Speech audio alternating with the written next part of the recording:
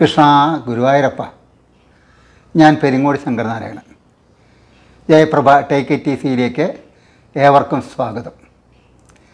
ഇന്ന് ഇവിടെ പറയാൻ പോകുന്നത് നക്ഷത്രങ്ങളുടെ സ്വഭാവത്തെക്കുറിച്ചാണ്.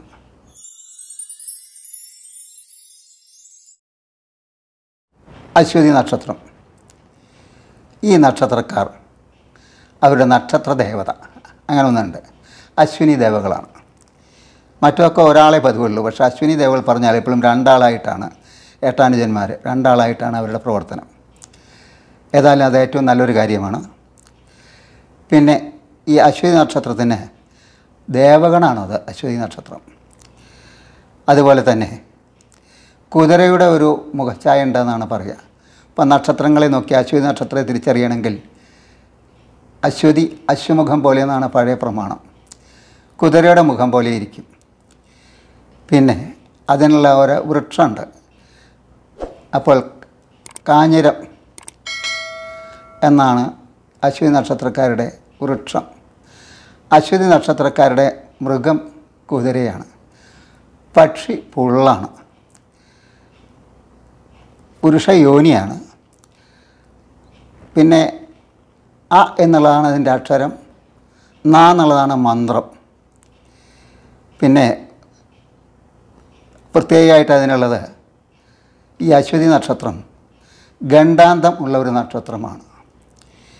അശ്വതി മകം മൂലം അങ്ങനെ ഒന്നിച്ച് പറയാറുണ്ട്.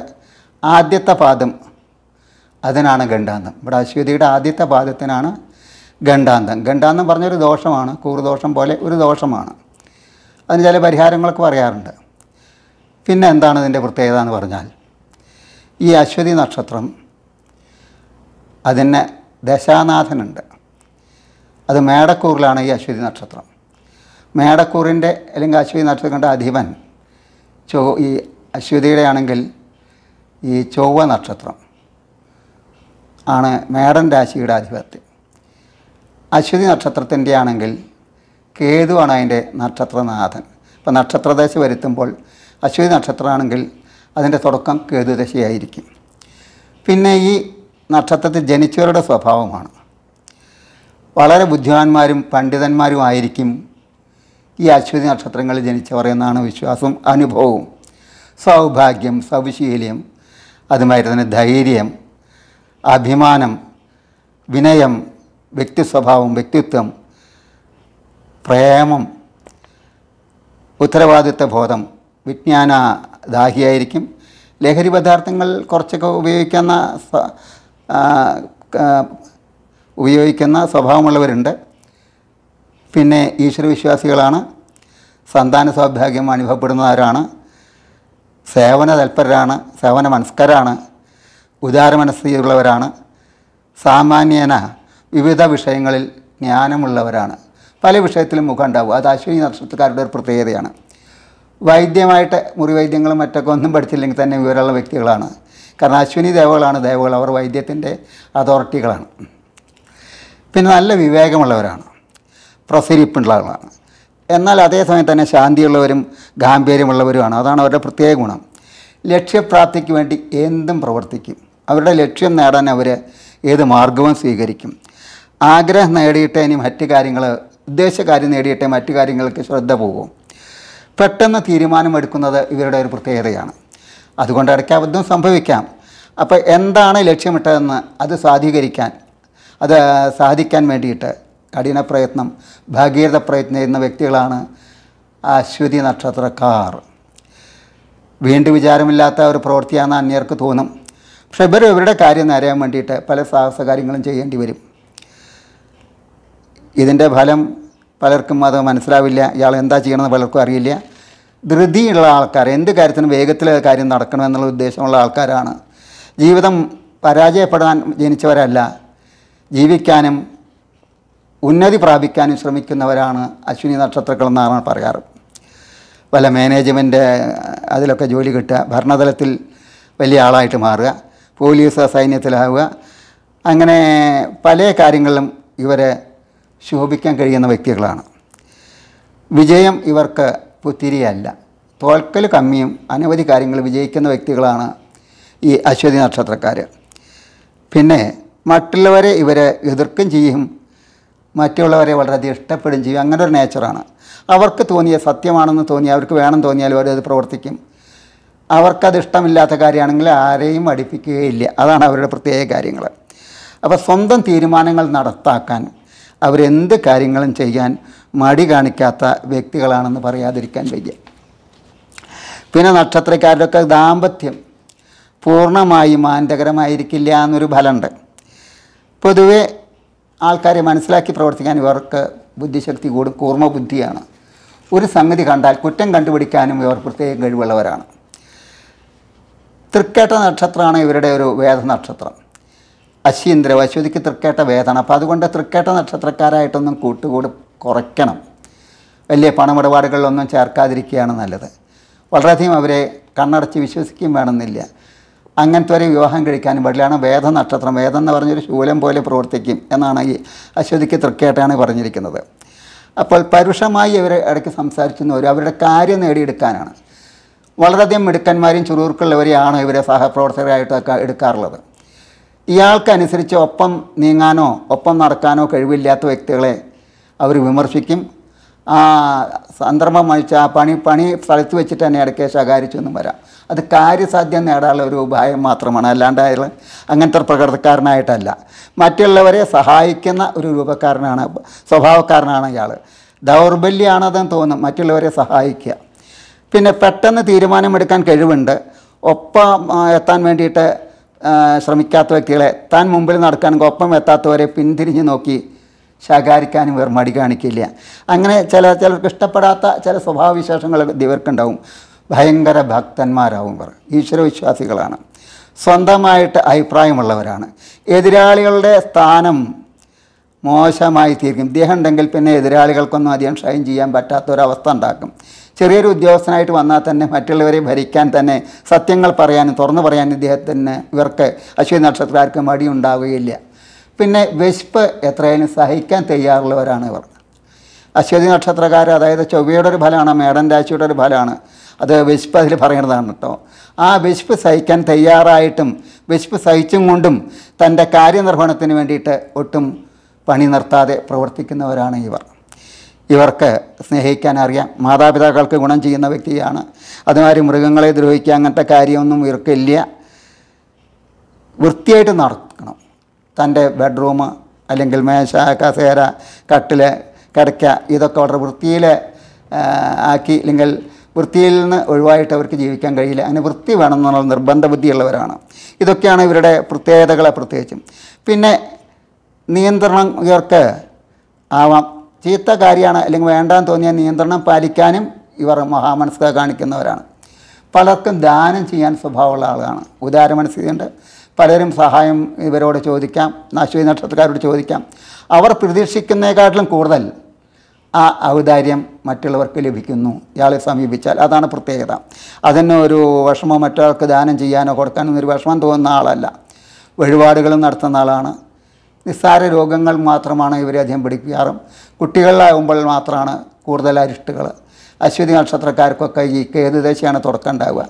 നക്ഷത്രവശാൽ അതുകൊണ്ട് ഈ കേതു കുറച്ച് മോശക്കാരനാണ്. അതുകൊണ്ട് കുട്ടികൾക്ക് എന്തെങ്കിലും പനി അങ്ങനെ നിസ്സാര പനികൾ വയറിളക്കം അല്ലെങ്കിൽ കഫക്കെട്ട് ഇങ്ങനത്തെ നിസ്സാര രോഗങ്ങളൊക്കെ കുട്ടിക്കാലത്ത് ഒരു പത്ത് വയസ്സ് ഒരു എട്ട് വയസ്സ് വരെയൊക്കെ അത് പ്രതീക്ഷിക്കാവുന്ന കാര്യമാണ്. അല്ലാതെ വളരെയധികം ഒരു മോശമായ ലിസ്റ്റിൽപ്പെടുത്തേണ്ട ഒന്നല്ല. സഹായിക്കാനും നല്ലത് തിരിച്ചറിയാനും പ്രത്യേക കഴിവുള്ള ആളാണ്.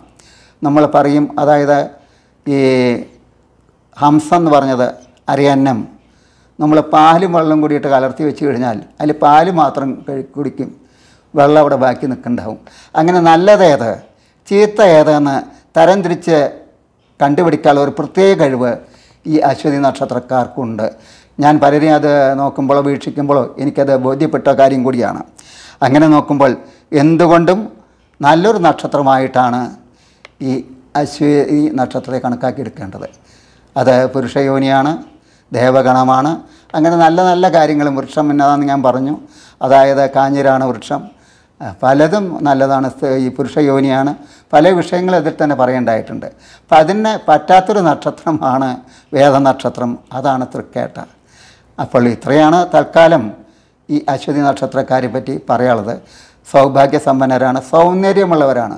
ഇവർക്ക് സൗകര്യം അതുമാതിരി തന്നെ ശരീരത്തിന്റെ ആ ശക്തിയും ഒരുമിച്ച് കൊടുക്കാറില്ല. ദേഹത്തിന്റെ അനുസരിച്ച സൗന്ദര്യം ഉണ്ടായിക്കൊള്ളുന്നില്ല. ആ സൗന്ദര്യത്തിനെ അനുസരിച്ച് ശക്തിയോ ദേഹത്തിന്റെ സ്ഥിതിയോ ഉണ്ടായിക്കൊള്ളുന്നില്ല. അതെല്ലാം തികഞ്ഞിട്ടൊരു വസ്തു പോലും മല്ലീശ്വരൻ ഹന്ത ചമച്ചതില്ല നിങ്ങൾ കേട്ടിരിക്കും. ആ ഒരു അർത്ഥ ആ കാര്യം അന്വർത്ഥമാക്കുന്ന ഒരു നക്ഷത്രക്കാരാണ് ഈ അശ്വതി നക്ഷത്രക്കാർ. ഇത്രയൊക്കെയാണ് ഈ അശ്വതി നക്ഷത്രക്കാരുടെ പ്രത്യേക ഫലങ്ങൾ സ്വഭാവങ്ങൾ. നക്ഷത്രങ്ങൾക്ക് തന്നെ അത് ഒന്നാം പാദം രണ്ടാം പാദം മൂന്നാം പാദം നാലാം പാദം അങ്ങനെയുണ്ട് ഓരോ പാദത്തിനും ഓരോ രാശിക്ക് അല്ലെങ്കിൽ കൂറിനൊക്കെ ദ്രേക്കാണ് ചിന്ത എന്ന് പറഞ്ഞ അനവധി വിഭാഗങ്ങൾ ഇതിനെപ്പറ്റി ഭാവിച്ചു പോകുന്നുണ്ട്. അപ്പോഴാണ് ഒരാളുടെ ജാതകം നോക്കിയിട്ടൊക്കെ ഫലം പറയേണ്ടി വരിക. സാമാന്യമായി പറയാവുന്ന ഒരു ഫലമാണ് അശ്വതി നക്ഷത്രക്കാരൻ ഞാൻ ഇത്രയും പറഞ്ഞു പോയത്. അതുകൊണ്ട് അശ്വതി നക്ഷത്രക്കാർ ഭാഗ്യവാന്മാരാണ്. അവർക്ക് വലിയ കുഴപ്പമില്ലാത്തൊരു നക്ഷത്രത്തിൽ അവർ ചെന്ന് അല്ല അവർ ജീവിച്ചു. അത് വളരെ നല്ലതാണ്. ഗണ്ടാന്തം അത്ര സാരമുള്ളതല്ല.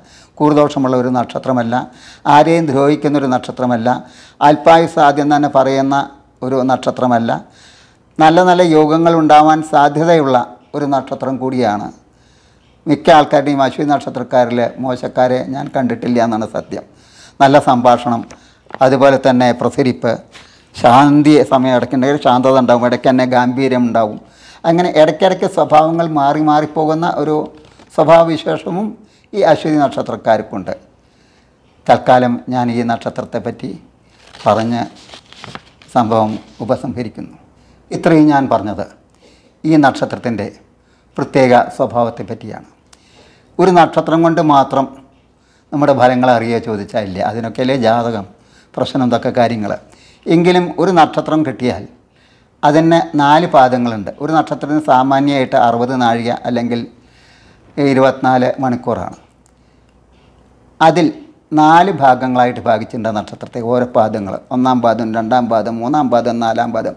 ഈ ഓരോരോ പാദങ്ങളിൽ ജനിച്ചവർക്കും ഓരോരോ ഫലങ്ങളാണ്. അതാണ് ഇതിന്റെ പ്രത്യേകത. അങ്ങനെ നോക്കുമ്പോൾ ഏതാണ്ടൊരു വിവരം മാത്രമാണ് ഈ നക്ഷത്രത്തെപ്പറ്റി പറയുമ്പോൾ നമുക്ക് ലഭിക്കുന്നത്. പല മാർഗങ്ങളുണ്ട്. ദശകളും അതെ ഒരു ദശ മാത്രമല്ല നക്ഷത്രദേശം മാത്രമാണ് ഇപ്പോൾ ഈ നക്ഷത്രത്തെ നോക്കിയിട്ട് നമ്മൾ കണക്കാക്കുമ്പോൾ ശിഷ്ടദേശിയായിട്ട് കണക്കാക്കാറുള്ളത്.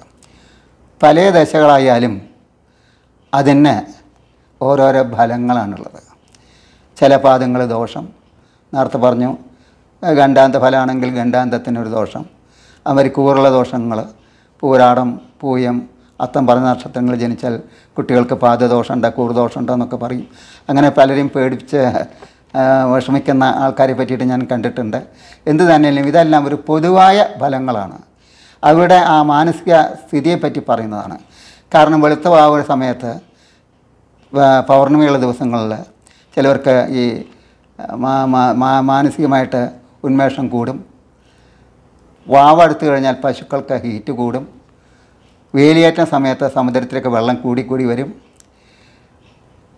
അതുമാതിരി വേലികയറ്റുള്ള സമയമാണെങ്കിൽ ചില മുറിയൊക്കെ പറ്റി കഴിഞ്ഞാൽ ചോര വല്ലാണ്ട് ഒഴുകി പോകും. കറുത്ത വാവിനാണെങ്കിൽ പാമ്പ് കടിയേറ്റമൊക്കെ വെച്ചാൽ വിഷത്തിന് ശക്തി കൂടും.